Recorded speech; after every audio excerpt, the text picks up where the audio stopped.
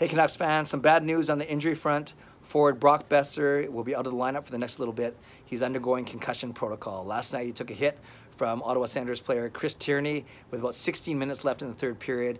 You saw, you guys saw the hit. Tierney approaching from behind, shoved him hard in the boards from behind, and then Boeser's kind of head hit went he went face first into the boards, kind of uh, crunched his neck a little bit crumbled to the ice, was able to play that ensuing power play, finished off the game except for about the last three or four minutes.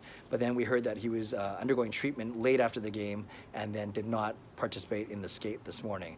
So it's really unfortunate given Boeser's injury history, given his uh, slow start to this season, given that he missed all of training camp because he had no contract, and then of course entering the preseason games a little late. We were hoping for a good start, you know, uh, waited for him to get, build some momentum heading into the regular season. Now we don't even know if he's going to play in the first regular season game. Concussions, very tricky, obviously very dangerous. You don't want to mess with them.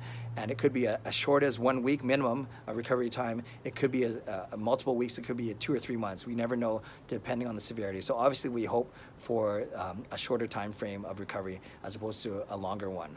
Uh, but yes, uh, LEC has got eight or nine days between now and the first regular season game to get healthy if indeed it is on the shorter end of that spectrum.